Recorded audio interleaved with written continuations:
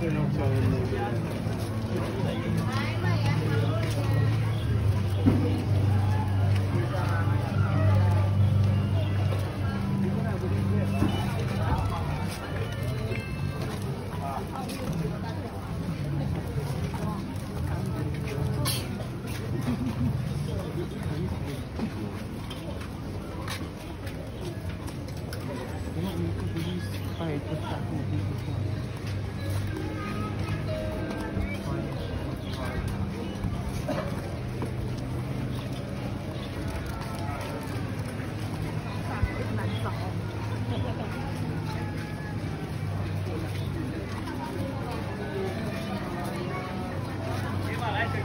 You don't